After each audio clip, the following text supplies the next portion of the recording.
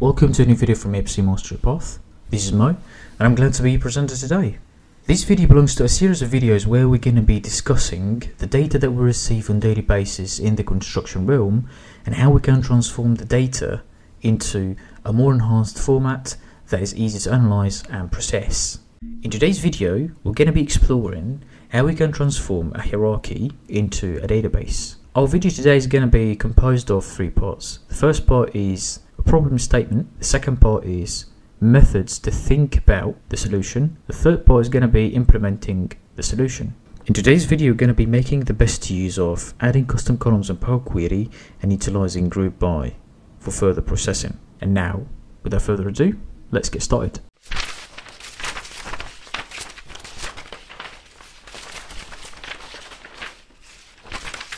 So the data that we possess today is a hierarchy.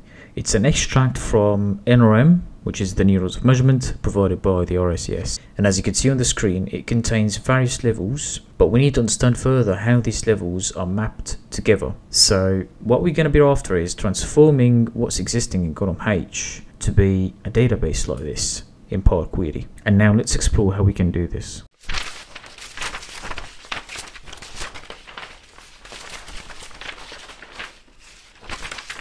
So in the previous video, what we have done is we have got the hierarchy in column B and we needed to understand how the header levels are mapped and then we split out the header levels in four different columns because the highest level of hierarchy here in NRM1 stops at level 4 and then we made the best use of nested ifs, switch and ifs to build a database like this which can be summarized for further processing. I'll put the link for that video in the description below. But now we want to do it in Power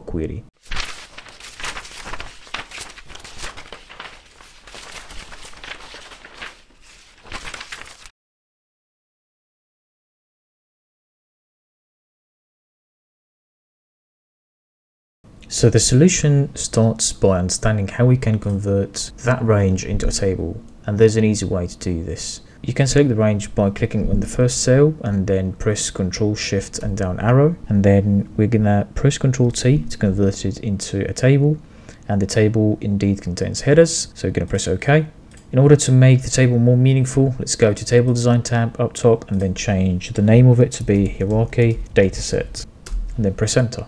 And then let's open Power Query. So we have to go to Data tab and then click on From Table or Range, and we're going to be importing that table in Power Query. So the first step in Power Query that we need to undertake is understanding what are the header levels. And the way to do this is fairly simple. We want to split the data by the dots. The number of dots denote what is the level. So if we have no dots, that's level 1. If we have one dot, that's level 2. If we have two dots, that's level 3 and if we have 3 dots that's level 4. That condition is only in this data set, it might be the same in your case or might be different so you have to figure out a way to understand how the header levels can be defined. We can go to add column and then custom column and then we're going to call the column header levels and in here we're going to be using a function called text.split so that we can split the text and the delimiter is going to be the dots. That's just going to only split the text, but we want to understand how many dots are there. So we can wrap this function into another function called list.count because the split text is going to be split in an array or in different columns, which can be treated as an array. So we're going to be counting the number of cells in this array. And if you do this and press OK, close all of them brackets, you will have all of them levels defined as you can see on the screen.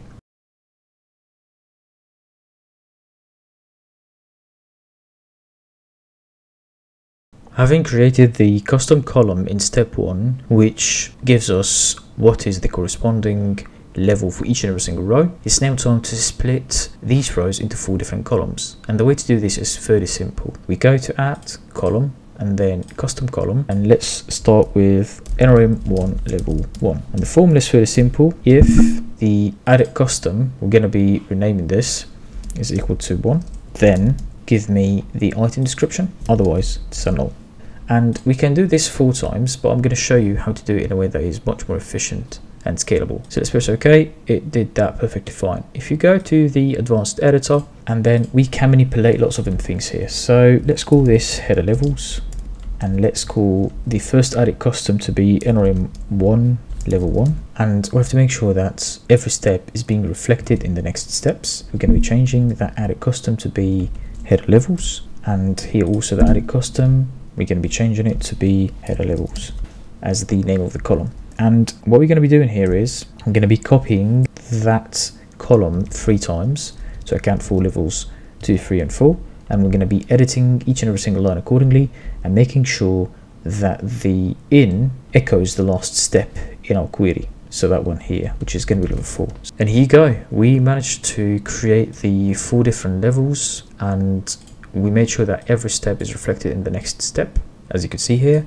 And then the last step is reflected or echoed in the in. And then if you press done you'll find that we have here the header levels identified and each and every single level is having the corresponding row and now the last piece of the puzzle is doing the filling down, which is going to be discussing in a bit.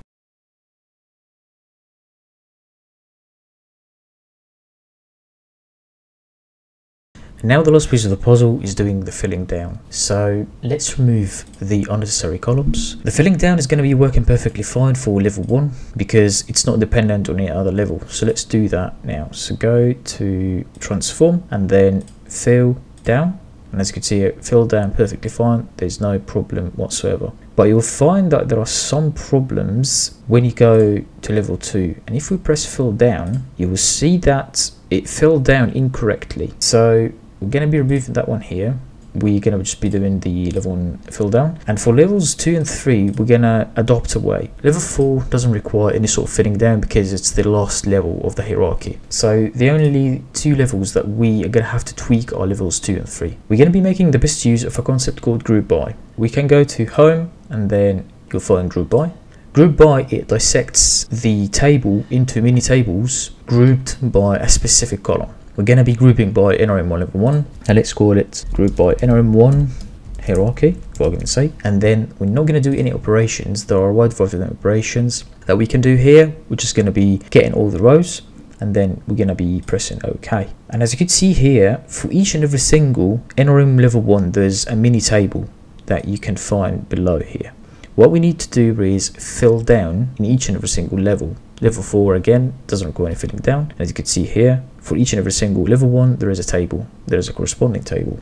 We're going to be doing this incrementally because level 2 is dependent on level 1 level 3 is dependent on level 2 so we can't do levels 2 and 3 in one hit. We're going to have to do it in two steps. So let's start first with NRM1 level 2 up here after the word each you'll find an underscore. The underscore means for every row. So we're going to be doing an array formula. So table dot fill down and then we're going to make the best use of that underscore and what is the aspect that we need to be filling down? It's actually the NRM1 level 2 and I put it in curly brackets because I'm dealing with it as a list because it's it's an array within that table. If I pressed enter and I went to let's say here you would find that everything was filled down correctly. We're going to be repeating that again for NRM level 3 so let's remove that column, don't need it anymore, and let's expand. So I'm not going to be using the original column name as a prefix, I just want the four levels again. So you'll find that level 1 and 2 are filled correctly, and as you can see here, level 2 stopped at the correct place. It didn't overfill. For level 3 it's going to be a bit cheeky because we're going to be doing the group by using two columns. So we're going to be pressing on group by, go to advanced, and then the first grouping by is going to be by level 1, and then add grouping, it's going to be by level 2. We're going to be calling it NRM1, level 1 and 2. And it's going to be grouping by them, and then it's going to be all rows. We're going to press enter, and we're going to do the same exact trick here. So table dot fill down, and then for every row, and then determine the column that we want to fill down, which is NRM1 level 3 and if I went to the very end by pressing Control End and then press Enter, and let's pick one up for example, 2.1, you would find that the fill down here on level 3 is working perfectly fine, it's not overflowing at all. And what we're going to do is just remove these two columns again, and when we expand, we're going to be expanding the four of them. Everything is filled down correctly, let's check that one for argument's sake. So 2.2.1 is filled down, I'm until here and it's stopping at 2.3. We can definitely do some tweaking in the advanced editor, by changing the names to make more sense. That's completely up to you. I would prefer to do this.